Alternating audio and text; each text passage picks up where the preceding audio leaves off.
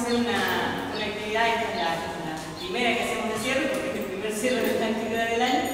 Y la idea era, bueno, eh, hacer un taller con, con los papás, un taller que creemos que va a estar muy, muy lindo, muy interesante, y además para que los niños también puedan aprovechar una actividad diferente, una actividad extra. Eh, invitamos a los profes que muy amablemente han, han venido. Juan Ignacio Lucina nos acompañan hoy